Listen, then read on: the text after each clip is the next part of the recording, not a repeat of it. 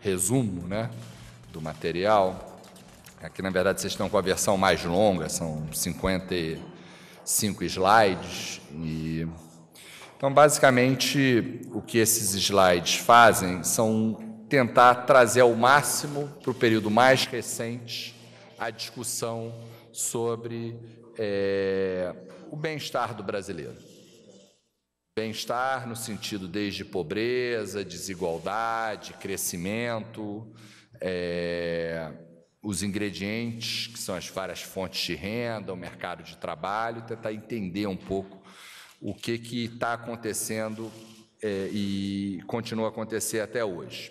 A PNAD, que é a principal base de dados aqui no Brasil, ela, ela, ela só vai até é, setembro de 2012.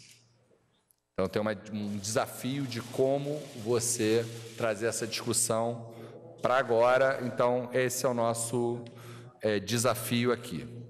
Uma primeira palavra é sobre a última PNAD, que é a PNAD de 2012. Isso já foi lançado há algum tempo, a, PNAD e as várias análises, mas que eu diria que a PNAD de 2012, os dados mostram, foi uma PNAD excepcional apesar de ter sido um ano fraco na economia, um ano chamado PIBinho, onde a economia cresceu pouco, a renda média da PNAD cresceu 8 pontos de porcentagem acima, e a nova PNAD vai ser lançada, a PNAD de 2013 vai ser lançada só em final de setembro de 2014. Então esse é o, então a gente começa fazendo uma história do Brasil ao longo das PNADs, mas essa história para em 2012. Um belo ano, mas é um ano já distante no tempo. E aí o que eu faço a partir da página 9 é tentar trazer essa discussão mais para frente, usando quatro dimensões. A dimensão da prosperidade, que no fundo é, é, é a dimensão do crescimento, mas sem olhar apenas para o crescimento é, do PIB, a gente olha para isso, mas olhar para o crescimento da renda das pessoas nas suas casas, que é o que a PNAD, a Pesquisa de Orçamentos Familiares, a PME fazem. A segunda dimensão é a dimensão de sustentabilidade, no sentido menos ambiental aqui, mas como é que está a educação, o trabalho, a moradia, coisas, os ativos das pessoas. A terceira vertente é a vertente da igualdade, que é como tantos os fluxos de renda como os estoques de ativos se distribuem na população.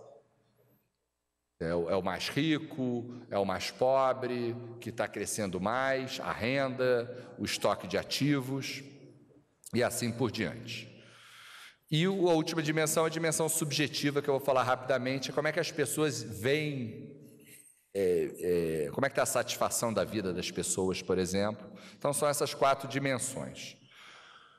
O, o, o, talvez o gráfico mais importante aqui da apresentação, para a gente fazer uma coisa bem direta ao ponto, seja na página 11, o gráfico de cima, que são quatro linhas. Se a gente pegar de 2003 para cá, quatro coisas, quatro linhas. A primeira linha dá o PIB per capita real, ou seja, descontado a inflação e o crescimento populacional. Quanto é que cresceu o PIB nesse período? Cresceu de 2003 a 2012, 27,8%. Tá? Já descontando essas dimensões. A segunda linha é a linha da PNAD, da média da PNAD, tal como o PIB é uma média, quem tem mais renda vale mais cresceu 51,7%. São coisas que deveriam andar juntas e estão andando bem separadas, tem um descolamento. E não é que isso está acontecendo no Brasil e não está acontecendo em outros países, é que, na verdade, na maioria dos países acontece o oposto: o PIB cresce mais do que as respectivas pesquisas domiciliares. Agora, se eu sair da média e olhar para a mediana, e a PNAD permite calcular a mediana de renda por pessoa no domicílio, a renda per capita, seria, vamos dizer, o João e a Maria, os brasileiros comuns, onde todos valem iguais, quanto é que cresceu a renda dessa pessoa do meio da distribuição, o, a mediana? Cresceu 78,4%. Está nesse gráfico. E, finalmente, quanto é que cresceu a renda dos 10% mais ricos, dos 10% mais pobres, desculpa, cresceu 106. Então, basicamente, é o seguinte: o PIB, a, a, média PNAD cresceu 25 pontos mais do que o PIB, a mediana mais 25 nesse período de nove anos, e o 10% mais pobre, seria, vamos dizer, o primo pobre do, do João e da Maria, cresceu mais 25, 106. Então depende muito a experiência do que, que você olha e para onde você olha. PNAD ou PIB, a renda das pessoas ou as contas nacionais, e o que os gráficos mostram, o que, que explica isso é o deflator. O deflator implícito do PIB está andando muito mais do que a inflação, medida pelo INPC ou pelo IPCA. Mas isso foi até 2012. Se, gente, se vocês olharem para o gráfico de baixo da página 12, como é que está agora? Então, a gente usa uma base mais restrita, usando sempre a mesma métrica do crescimento real per capita. Vamos pegar março de 2014. Qual foi o crescimento da renda média em março de 2014? É, seria o equivalente ao PIB per capita, só que cresceu 4,11. A gente vê que houve uma desaceleração ao longo do ano. Se a gente quiser entender o que houve no primeiro, no segundo trimestre do ano passado, época de manifestações, etc., a gente vê no mercado de trabalho um certo, digamos assim, tropeço, que é consistente. No PIB per capita, mais uma vez, a gente não consegue explicar esse tropeço. Por quê? No segundo trimestre, o PIB per capita cresceu anualizado 6%. Então, o PIB não, não, não ajuda a entender o que houve no ano passado. Já a renda do mercado de trabalho e a, a, renda das pessoas, eu vou mostrar outros indicadores, a, ajudam a explicar isso.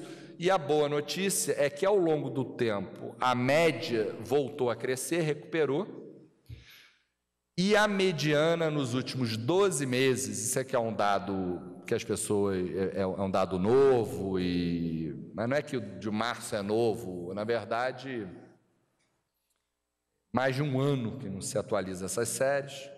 Nos últimos 12 meses, a renda é, mediana do brasileiro cresceu 6,94 real por pessoa. E, então, essa a mediana está crescendo mais do que a média. Significa que a desigualdade está caindo. Isso é uma medida de desigualdade.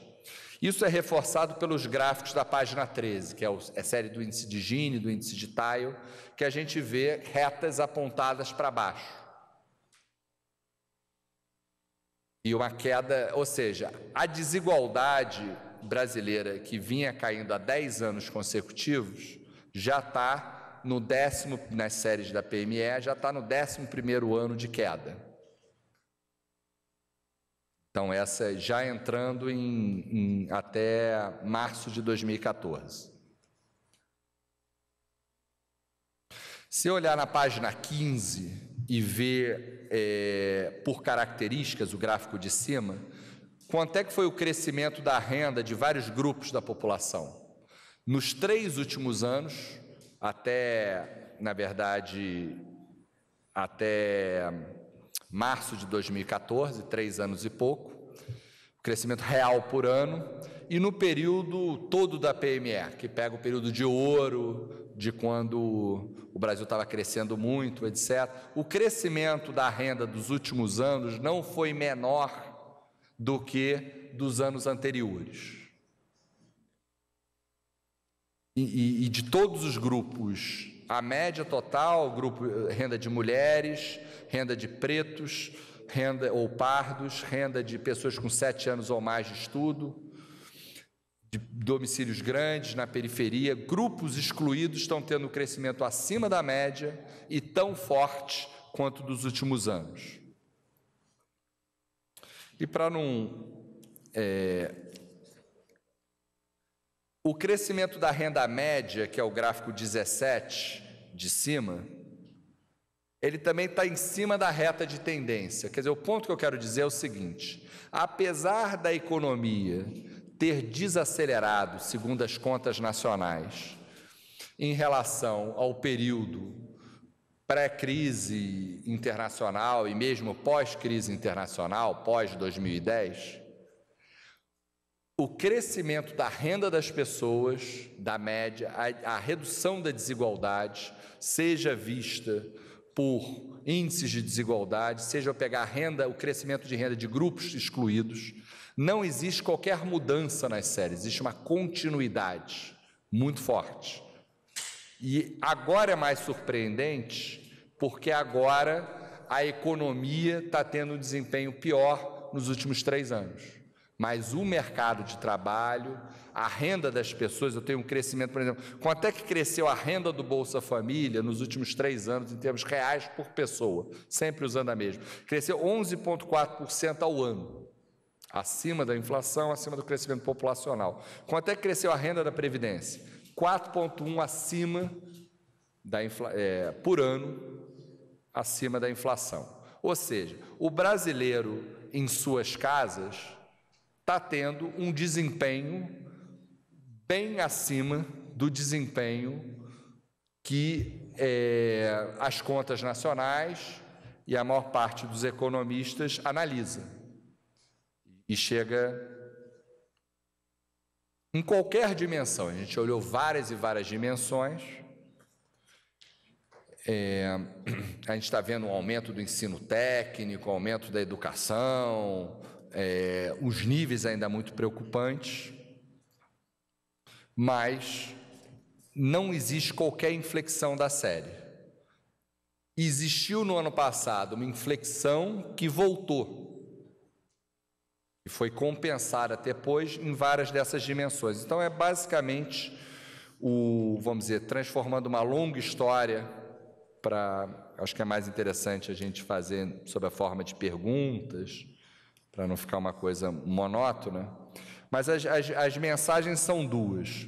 Se eu olhar para essas quatro dimensões que eu falei, prosperidade, igualdade, sustentabilidade, não no sentido ambiental, mas no sentido da, dos ativos que as pessoas têm, e, no, e, e, e é, além da igualdade, da sustentabilidade, olhar para o lado subjetivo, como é que as pessoas veem as suas vidas, etc. O que, que a gente vê? A gente vê que esses dados todos são muito mais positivos a tendência dos últimos 11 anos e dos últimos três anos e meio, ou três anos e três meses, os dados vão até março de 2014, do que os dados econômicos. Por exemplo, crescimento do PIB. E todo o crescimento aqui que eu estou falando é descontado a inflação. Então, se a inflação acelerou, é mais difícil você ter crescimento real mas esse crescimento real está acontecendo, a redução de desigualdade que tende a penalizar os mais pobres, a inflação que tende a penalizar os mais pobres, a redução de desigualdade tem continuidade, seja desigualdade entre pessoas, seja entre grupos da sociedade. Agora, quando a gente tenta entender um pouco a cabeça do brasileiro no ano passado, esses dados de mercado de trabalho dão algum indicativo que o PIB não dá, mais uma vez. Quer dizer, seja no Se a gente olhar o retrato atual da sociedade brasileira, ela é cheio de problemas, cheio de desafios. Agora, o, o filme dos últimos anos, a mudança nos últimos anos, ela é uma mudança que revela uma forte transformação social, seja nos últimos. O, ponto fundamental da série, desse exercício é o seguinte: o que aconteceu nos últimos 10 anos, 11, 12 anos? O que aconteceu nos últimos três? Nos dados sociais há uma perfeita continuidade, com pouca inflexão. Agora, isso é surpreendente, talvez, por quê? Porque os dados da, da economia hoje não apresentam o mesmo crescimento que apresentou nos 10 anos anteriores. O crescimento médio, acho que foi 4% na economia, e o, no período 2003 a 2010, alguma coisa assim, aí não é um dado preciso que eu estou dando, o crescimento de 2003 a 2012 foi 2,7%, foi 27,8% acumulado. É, em é, 2011, 12 e 13 foi um crescimento mais baixo do que esse observado, mas no mercado de trabalho, na renda das pessoas, na desigualdade, a gente não nota uma quebra nas séries. Então, é basicamente esse é o resumo da ópera. Fico aberto a perguntas. Isso, aqui no final só tem algumas referências, é, links, etc., que podem ajudar vocês a atualizar essa análise. Os dados são inéditos, os dados mais atuais. Por favor. Ministro, meu nome é Daniela, eu sou da Rede TV. Eu fiquei com umas dúvidas só sobre essa tabela que o senhor citou na página 12, abaixo, que mostra esse último dado de março, falando sobre as medianas e médias da variação de renda. O senhor falou que ela já está descontada a inflação, né? Exatamente. Mas, ainda assim, o, o senhor fez bastante comparações com os níveis da economia, que tem crescido num ritmo menor, mas tem que se considerar também que a economia está sofrendo os reflexos da, das medidas do governo para fazer com que esses números continuem crescendo.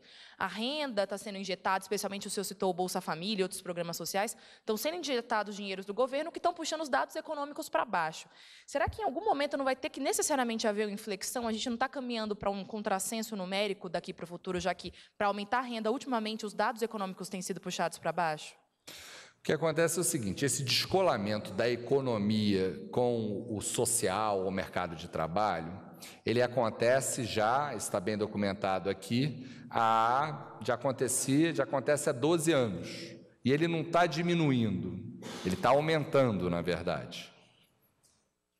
É, o que, que explica essa diferença? Quer dizer, eu tenho uma diferença de 25 pontos de porcentagem da média PNAD contra a média do PIB. Tá? 24 pontos é a diferença de deflator implícito. É do deflator implícito contra o INPC.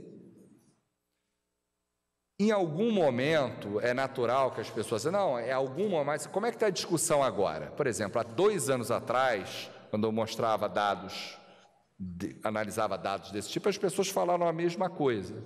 E faz sentido, não estou, é, vamos dizer, desmerecendo a sua análise, que acho uma análise sólida. Só que o Brasil é um, é um, é um, é um país que surpreende.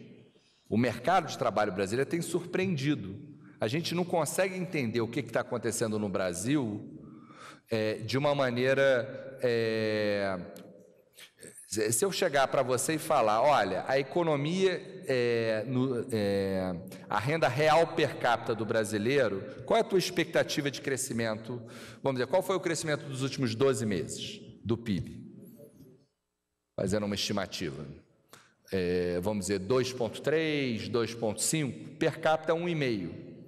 Tá? A renda real, se for, né, esse é o número, a, a, a renda média cresceu nos últimos 12 meses 4, e a mediana cresceu 7. Então, de fato, é, quer dizer, um pouco para a tua resposta depende. Se a economia, se o mercado de trabalho vai, se, vai ser puxado para baixo, Primeiro tem que ver se há convergência ou não há convergência. E se essa convergência é o mercado de trabalho que é puxado para baixo, ou se é a economia que é puxada para cima. Eu acho que. E, e, a maioria das pessoas acha que o PIB é a variável chave que vai guiar. Agora, o Brasil tem desafiado esse, esse prognóstico. É uma questão empírica. Eu, o que eu aprendi a fazer, por isso que eu trago esses dados recentes, olha para o dado, vê o que está acontecendo, porque fazer projeções no futuro, é, elas são incertas e elas têm desapontado as pessoas. É... Ministro, é, Ricardo, da Agência Estado, é, o senhor citou muito essa contraposição entre é, os dados econômicos que os principais analistas usam, no caso, o crescimento da economia, e esses dados que o senhor apresentou agora. Eu queria saber da sua avaliação, se o senhor acha, é, mesmo com essa avaliação, ainda os dados que os economistas mais usam, e que eles vão continuar a usar, são os dados é, crescimento de PIB, etc. Eu queria dizer se o senhor, se o senhor considera essa visão é, incompleta, se o senhor acha que deveria se olhar mais para os é, para esses dados conjunturais que o, que o senhor apresentou agora, se é um erro do, do mercado tratar é, essas previsões é, com esse foco nesses dados mais tradicionais?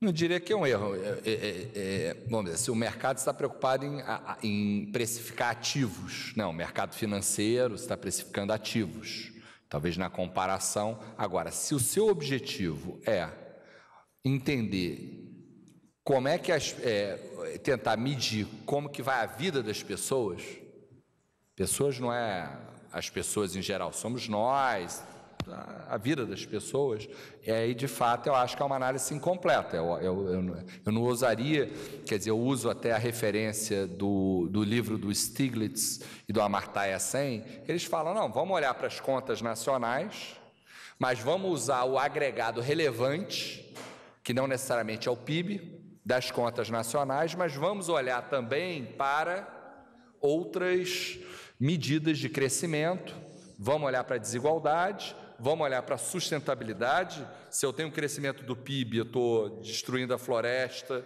ou não estou investindo em educação, não é um crescimento sustentável. E vamos olhar como as pessoas se, se acham. Então, eu, eu concordo de que é, do, do, ponto de vista, quer dizer, eu sou uma pessoa, sou um economista, mas que trabalho na área social. Eu estou interessado em gente.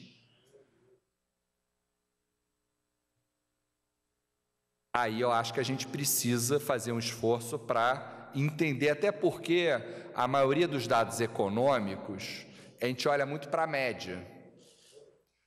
E no Brasil está havendo a, a, a média ela está tendo um comportamento muito diferente de, por exemplo, da mediana. Quer dizer, o PIB per capita cresceu 27,8. A, a, a, mediana cresceu 78. Cresceu três vezes mais rápido. Agora, eu não tenho dúvida que para o João, é, é, é, o que importa mais é a renda dele. E se você pegar, cresceu 78% a mediana. Quanto é que cresceu a renda mediana americana em 30 anos, nos 30 últimos anos? Isso tem sido muito, cresceu zero em 30 anos. O Brasil, em, 10, em 9 anos, cresceu 78%. Então, é, é, é, de, de, fato, eu acho que a gente precisa, vamos dizer, olhar para os dados, se o interesse é tentar entender o bem-estar da população. Como, vamos dizer, eu estou no governo, a minha área é política social, mas eu acho que a maioria das pessoas está interessada em como é que vai a vida das pessoas. E aí a gente precisa, de fato, ter um quadro mais completo, que não se resume, obviamente, a, a, a apenas essas estatísticas que eu tenho mostrado. Uma, porque eu acho, e eu até confesso que eu me surpreendo quando eu olho para os dados, que eu acho que existe, é, quer dizer, é, uma, uma visão, quer dizer, primeiro existe esse descolamento que torna a análise brasileira mais complicada de outros países, do que outros países. Não é que no Brasil o mercado de trabalho, a renda das pessoas cresce mais do que o PIB e não acontece em outros países. Não, nos outros países acontece o oposto. Não é que no Brasil a desigualdade está caindo e nos outros países ela está parada. Em dois terços dos países do mundo ela está aumentando. Então o Brasil ele se torna um país difícil você tentar entender o Brasil olhando para um conjunto restrito de indicadores. E principalmente se você quiser tentar entender o bem-estar dos brasileiros, né, da população. Ministro, é, por Se favor. pudesse identificar só para... Luísa Damé, do Globo. É, a sua efetivação como ministro saiu hoje, mais de um ano depois da sua interinidade. Eu queria saber se o senhor tem alguma explicação, por que, que demorou tanto, por que, que saiu hoje, e se isso tem alguma relação com o erro cometido pelo IPEA na pesquisa lá atrás sobre a questão da violência contra a mulher. Perfeito.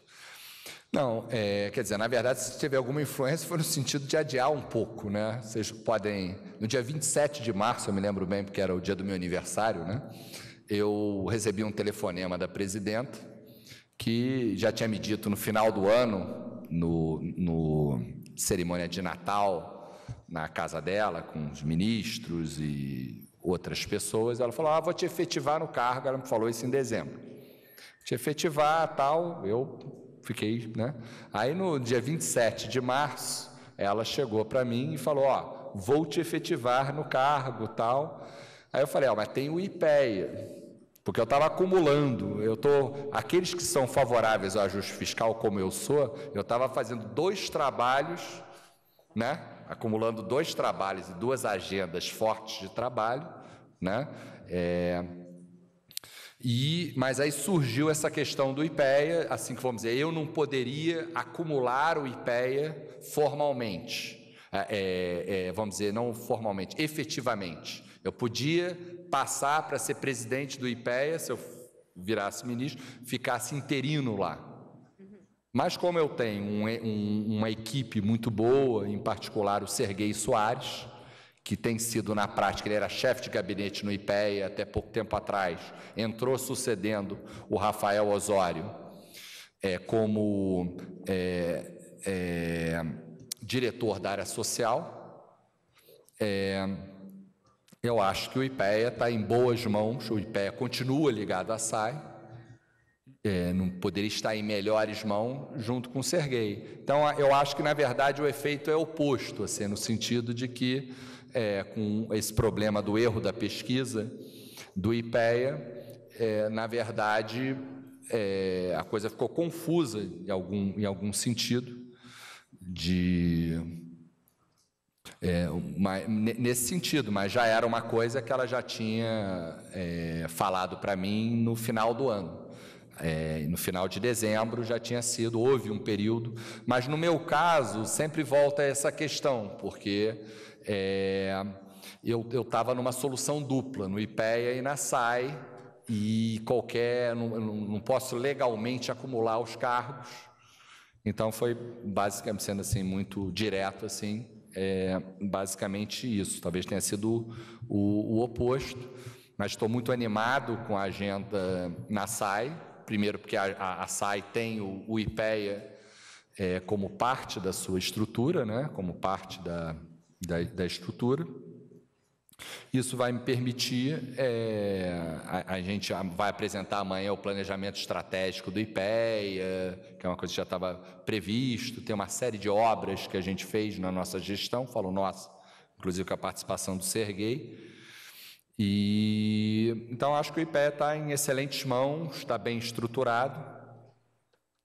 E, então, acho que é basicamente isso, assim, não tem é, eu, obviamente, fico feliz de me, me tornar ministro efetivo, isso para mim é um prêmio.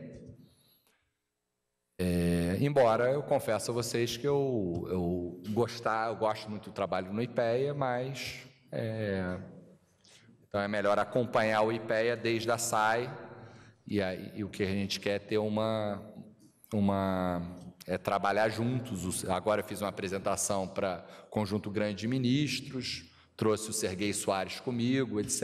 Então a ideia é ter mais mãos trabalhando. O Serguei tem exatamente a mesma trajetória, nós, nós entramos no mesmo concurso do IPE em 98, somos contemporâneos, trabalhamos na mesma área. Então acho que é, para aqueles que acham que o IPEA não deveria seguir na área social, fazer estudos, tal, o Serguei é uma má notícia, porque ele, ele, a área dele é, é, é um pouco essa também. Ministro, é, Taina Lon, da Folha de São Paulo. É, eu queria só voltar rapidamente a, aos dados que o senhor apresentou mais cedo. É, o senhor chegou a comentar que é, os dados da, os gráficos da página 12 mostram um declínio da renda na época das manifestações de junho do ano passado. Exatamente. E eu queria é, saber qual é a percepção do governo em relação a isso, por que, que caiu a renda naquela época, que foi uma época que, inclusive, começaram as especulações sobre o descontrole da inflação, se isso tem alguma coisa a ver. E qual é o diagnóstico do governo? É possível concluir agora que é, as manifestações daquela época foram de, é, motivadas pela economia? Eu acho que o fenômeno das manifestações é um fenômeno bem complexo. Ele tem, vamos dizer, múltiplas dimensões. Eu, inclusive, eu tenho eh, viajado na SAI, eu trabalho na parte do interajo com os assessores de segurança internacional, tive uma reunião na África do Sul com os NSAs dos BRICS, está estourando em todas as partes. Eu acho que é, a economia, e principalmente a economia que importa mais as pessoas, que é o dinheiro no bolso, que é o, o trabalho, que é o poder de compra da renda das pessoas, de fato teve esse tropeço no primeiro e do segundo trimestre do ano passado, os dados mostram isso com clareza. Isso, em parte, capta o efeito da inflação. Você teve, quer dizer, a renda real cresceu menos porque a inflação cresceu, é, acelerou naquele período. E aí, mas aí, quando a gente está falando de ganhos aqui, a gente está falando de ganhos reais e não nominais chegou até em março de 2013, chegou a ter um ganho de 12 meses negativo, não a perda, de 12 meses, próximo de zero, mas negativo. Mas acho que isso desempenha algum papel, mas eu acho que não é só isso. Eu acho que, além disso, você tem um fenômeno redes sociais, que é um fenômeno mundo afora. Eu tive agora no Fórum Econômico Mundial, e as mesas mais fortes que tinham eram sobre hiperconectividade e assim no sentido que os especialistas falam é que a coisa mudou, é, não é que você vem um processo contínuo, é que é uma exponencial, a coisa acelerou de forma muito forte. Acho que redes sociais é um componente forte, nos afetam, mas eu diria que é, é um conjunto grande de fatores, mas vamos dizer é, o PIB não, não ajuda a explicar, pelo contrário, ele dificulta entender. Agora, a renda das pessoas no mercado de trabalho, se olhar dados, até apresento no final, de satisfação com a vida das pessoas, houve uma queda no começo do ano, é consistente com, com essa, essa visão. O próprio comércio sofreu uma desaceleração. É, então, é, eu acho que que é um fenômeno complexo, é, mas olhando só para a economia, eu não entendo isso. Eu acho que não é a economia, ao contrário, é, eu acho que é, é, é, é, a economia, não é a macroeconomia tradicional, acho que é a economia das pessoas e a economia das pessoas no Brasil está muito descolado. E até nesse trimestre houve o descolamento oposto. O PIB cresceu a 6 e a renda das pessoas estava crescendo a um e pouco. Então é o descolamento oposto, mas que, que talvez corrobore ou não contradiga a tese que eu estou apresentando.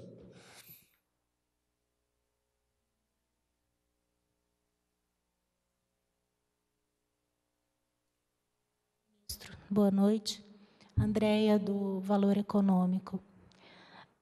Ministro, o senhor está mostrando é um cenário positivo no âmbito desses outros dados que aparecem descolados dos dados econômicos puros, PIB, etc. Exatamente.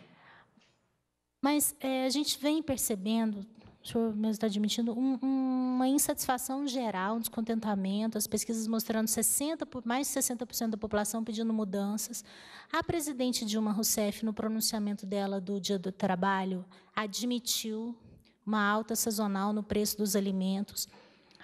Eu quero perguntar assim: é, esses dados sociais vêm numa melhora crescente, mas chegou o momento, finalmente eles estão esbarrando com coisas como é, colidindo com coisas como inflação, alta de alimentos, não sei o quê. Parou essa trajetória de melhora nos dados sociais? Não, o último dado, os três últimos meses, o crescimento da renda mediana, que eu acho que para entender o humor das pessoas, a vida das pessoas, se eu tiver um dado onde quem ganha mais vale mais, que é o que o PIB e o que a própria média faz, se a sua renda é três vezes maior do que a minha, você vale três vezes mais do que eu no PIB ou na renda média da PNAD, etc. Isso que acontece. Eu acho que é mais interessante, até para entender os humores, cada um ser igual. Assim, dar um peso igual. Isso que a mediana faz. A mediana dos últimos três meses, já descontando a inflação, que a inflação está ali próximo, quer dizer, não está tá acima do centro da meta, ela está crescendo acima de 6,9 nos três últimos meses. Então, o descolamento continua. Eu vejo as pessoas fazendo análises há alguns anos, dizendo: não, vai desacelerar, vai desacelerar. Mas o mercado de trabalho, eu acho que para mim a grande, o, o, o grande prova de resistência dessa nova classe média, tudo, é a classe média continuar crescendo, apesar do desempenho é, é, pior da economia. Até agora não existe evidência. Agora, o que vai acontecer daqui a dois meses é possível que é, é possível que aconteça uma coisa ou outra coisa.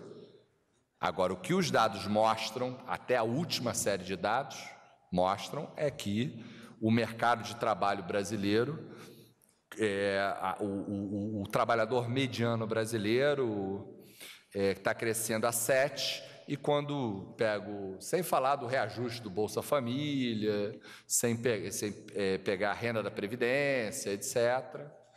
Então, eu, é, eu acho que é, os dados têm surpreendido bastante. A, desigualdade segue caindo, as pessoas falam, ah, a desigualdade vai parar de cair, etc.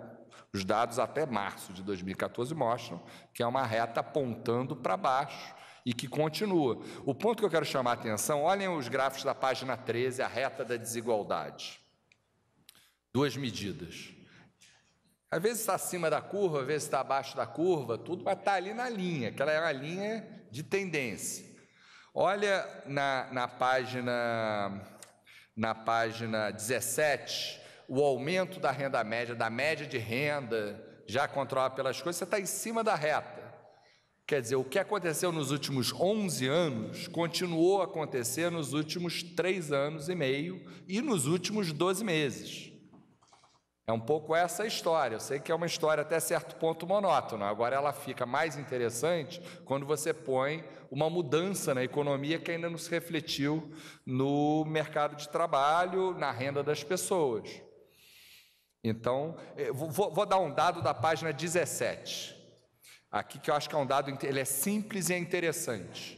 Com todo esse mau desempenho econômico, entre aspas, a, a oportunidade de um brasileiro ter subido na vida nos últimos 12 meses, pegar quem estava abaixo da mediana, de ultrapassar a mediana, nunca foi tão alto na série dos últimos 10 anos. De cada 100 brasileiros, estavam abaixo da mediana, 27 ultrapassaram a mediana. Isso em 2002 para 2003 era 16. Então o que eu estou dizendo para vocês é o seguinte: olha, eu, eu sou economista, escrevi muito tempo no Valor, etc. Sou economista. Agora, quando eu olho o dado da sociedade brasileira, do mercado de trabalho,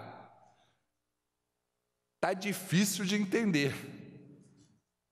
Está difícil de entender mesmo. Agora, do meu ponto de vista, eu prefiro muito mais uma situação dessa do que uma situação que fosse o oposto, aonde os, o PIB está maravilhoso, etc., e as pessoas estão com dificuldades. A gente no Brasil tem um problema que a gente aponta aqui, o dado mostra que talvez a gente esteja batendo num limite de todo o ganho de renda do trabalhador é menos, é menos por ocupação e muito mais por salário. Isso pode demonstrar uma escassez de mão de obra. É um problema, como o desemprego é um problema. Agora, se você me, me pedir para escolher um problema, eu prefiro uma escassez de mão de obra do que um desemprego aberto, como a gente viveu lá na crise de desemprego. Mas o, o, o, o Brasil ele está realmente surpreendendo e, e tem dois Brasis. Tem o Brasil tem vários Brasis, mas tem um Brasil dos brasileiros que são entrevistados nas suas casas, quanto, é quanto você ganhou? Qual é a sua renda? Qual é a tua renda do Bolsa Família? Qual é a renda do, da Previdência? Qual é a renda do trabalho formal informal? Quanto é que ganha sua mulher nas mesmas fontes? Quanto é que ganham seus filhos, etc. Você faz o cálculo, o cálculo de bem-estar. E ele está com desempenho, quer dizer, o Brasil, é, a população está tendo um desempenho continuamente, que isso poderia baixar, não, aconteceu um ano, dois anos, não, está acontecendo há 12 anos e ele é maior agora. É um gráfico boca de jacaré. Se vocês olharem o, o dado da página. Eu ver aqui da página 11, o último gráfico de baixo, que é uma atualização dos outros, você vai ver que é uma boca de jacaré. A média e a mediana estão assim. O João o, o João está tendo desempenho muito maior do que aqueles que, que a gente olha, porque a gente olha muito para a média. Então, o Brasil, que era o país da desigualdade alta e persistente, é um país de desigualdade ainda muito alta. Mas se a gente olhar, eu estava com o Serguei é, Soares, ele fez alguns estudos comparando a tendência de desigualdade em vários países. Uma curva como essa você só encontra na Espanha pós-Franco. Dez anos como esse é caso raro, raríssimo. E, e, a do Brasil não, não tem sinal de que a desigualdade parou de cair e de que a renda é, parou de aumentar. Tem uma série de agendas que a gente trabalha na SAI, nosso trabalho na SAI é ver as agendas de futuro, coloca à disposição para discutir isso, mas o que os dados presentes, passados em vários horizontes mostram é esse descolamento. É, uma, é, uma, é um, é um pouco um samba de uma nota só, mas ele é consistente em várias dimensões. Essa, esse descolamento de é, economia e mercado de trabalho, bem-estar. Né? Ministro, Juliana do G1, o senhor está apresentando dados que o senhor está dizendo que não são os tradicionais, que, que, que os economistas analisam tradicionalmente. Macroeconomistas. Macroeconomistas. É, num contexto de queda da presidente, de popularidade da presidente, num contexto de volta a Lula, e sempre reforçando que, não, estava ótimo, mas nos últimos três anos está melhor ainda. E melhor ainda não, usei e falei, tem uma continuidade. Continuidade. E disse que apresentou esse dado para uma série de ministros. Sem Essa dúvida. reunião foi para dar subsídio para os ministros rebater, rebaterem as críticas que estão sendo feitas à presidente? E eu tenho mais uma pergunta. É, hoje o IBGE disse que vai continuar apresentando o dado da PNAD continuada e vai haver uma mudança de metodologia. Existia uma avaliação de que esse número poderia ser um número desfavorável para o governo e apresentar um aumento do desemprego. Vocês já têm estudos com relação a isso, uma previsão de como que vai ficar o desemprego daqui para frente, se de fato tem essa perspectiva de aumento de desemprego nos próximos meses? E se essa metodologia nova, o senhor acha mais abrangente, senhor, o senhor concorda com ela? Se acha que ela é mais adequada ou não? Perfeito. É... Não, em primeiro lugar, foi uma apresentação que eu fiz para os ministros, como eu fiz em algumas outras ocasiões, e é no sentido de mostrar a realidade, de explorar, discutir. É, acho que é uma realidade pouco conhecida, mesmo para os analistas, é, da área. Acho que as pessoas não estão se debruçando nos dados. Todos esses dados são públicos. Qualquer um de vocês pode baixar esses dados no site do IBGE. E, são microdados que a gente processa, mas são de uso público. Então tem essa. Eles são é, uma condição científica fundamental, eles são replicáveis, não é um dado do governo e aí está apresentando, não. É um dado da sociedade brasileira, formado pega a PNAD, entrevista 400 mil pessoas no Brasil inteiro, com a mesma metodologia, tem um padrão IBGE de qualidade. E é, é, isso, então, é, então essa apresentação não é uma apresentação, é uma apresentação para mostrar a realidade, é, discutir os pontos, uma coisa normal, não é para é, esse é o objetivo. É, o, o, é, o, qual era a sua segunda pergunta? Desculpa.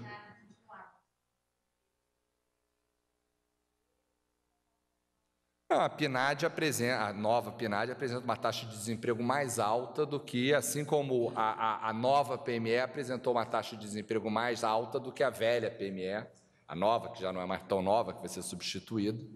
Eu, particularmente, acho que. É, é, eu acho que você ter medidas mais duras é, é, é bom.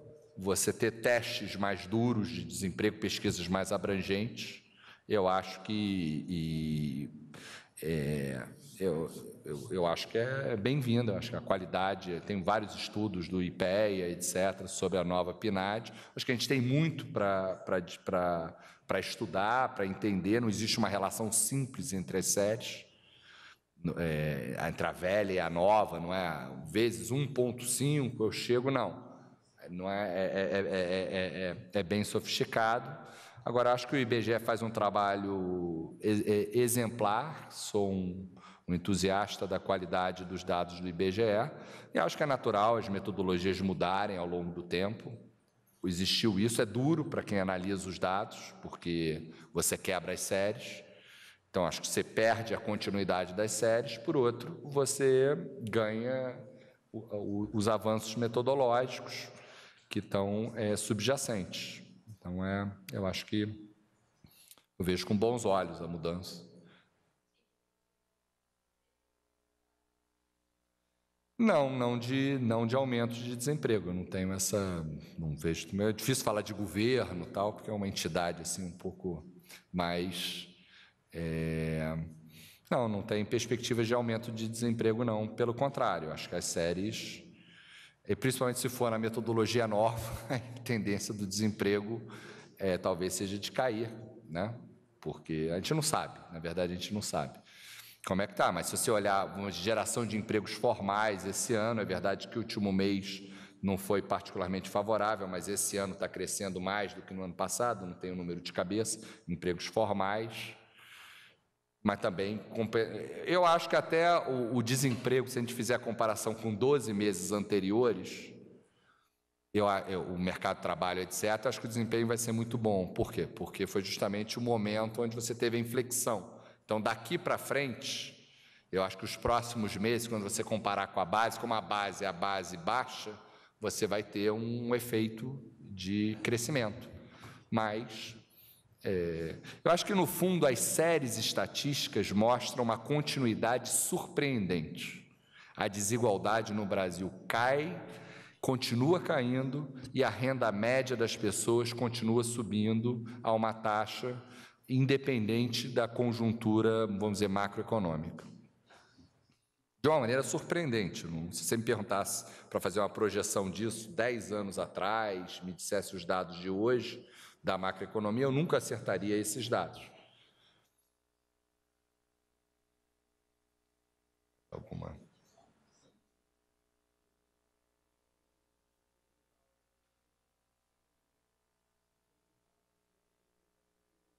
problemas no IPE Não, não acho que atrasou, mas, quer dizer, no, no, no por coincidência, uma coincidência isso, porque foi. É, duas coisas aconteceram. A confirmação, só que veio a confirmação, assim, eu tinha um problema do IPEA. Assim, eu, eu tinha que endereçar, eu tinha que, é, vamos dizer, encaminhar bem o IPEA. E. É, então, é, é, é, então foi isso que foi feito. O Serguei assumiu a diretoria social. Ele já é hoje, ele já é presidente do IPEA como meu substituto e amanhã ele será o presidente titular do IPEA. Eu não acho que atrasou, mas eu não acho que é, eu, eu não acho que tenha, como eu falei, em é, dezembro, final de dezembro, houve a confirmação, assim, houve a, a, a manifestação, eu vou te confirmar no cargo, foi o que ela me disse. Depois, quando veio a confirmação, a coisa ficou um pouco tumultuada por conta do erro da pesquisa do IPEA, isso foi uma coisa tumultuada. Agora, o, o trabalho que está sendo feito lá é um bom trabalho. O IPEA faz 320 publicações por ano, é verdade que essa ganhou um destaque, uma. uma... Agora, eu acho que o IPE sai mais forte do que em reconhecendo o erro, em é, tornando público os dados, que, que no momento que o erro foi reconhecido, ele foi, os dados se tornaram públicos. Eu acho que essas coisas fazem parte da, da, da trajetória. Vocês trabalham em jornal, quantas vezes vocês dão uma errata no dia seguinte, tudo. No nosso caso, foi uma pesquisa séria, etc. A única coisa que nos restou a fazer é assumir o erro, né? E, e eu acho que a, a credibilidade da instituição no longo prazo vai ser maior. Quem que vocês acreditam? Um jornal que nunca reconhece os seus erros ou um jornal que, que, que tem esse zelo Acho que hoje em dia, cada vez mais, as instituições são transparentes em relação a isso. Veja, às vezes, um programa de televisão, tal, o, o, jornalista já conserta o mais rapidamente possível.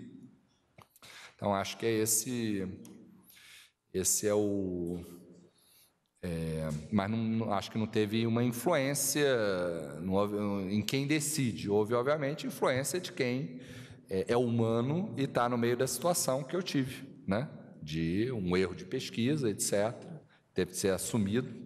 É isso, acho que é do ponto de vista mas não, não teve qualquer, pelo contrário, quer dizer, eu, eu na verdade acho que existe, eu estou sendo promovido, né? Assim, virar ministro é uma promoção. Então acho que mostra a avaliação do meu trabalho, da qualidade do meu trabalho. Assim como o Serguei está sendo promovido, eu indiquei o Serguei como meu sucessor porque eu acho que ele fez um excelente trabalho nessa área, e ele vem da área social, que foi até a área onde surgiu o problema, o erro da pesquisa. Então, acho que o, vamos dizer, o, o problema é um ponto, vamos dizer, fora da curva, e aconteceu, a gente está ajustando os procedimentos, etc., mas é vida que segue.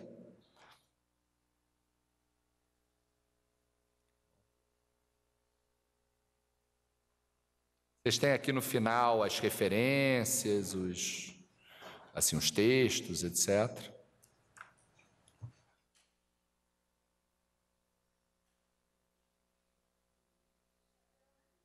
Obrigado.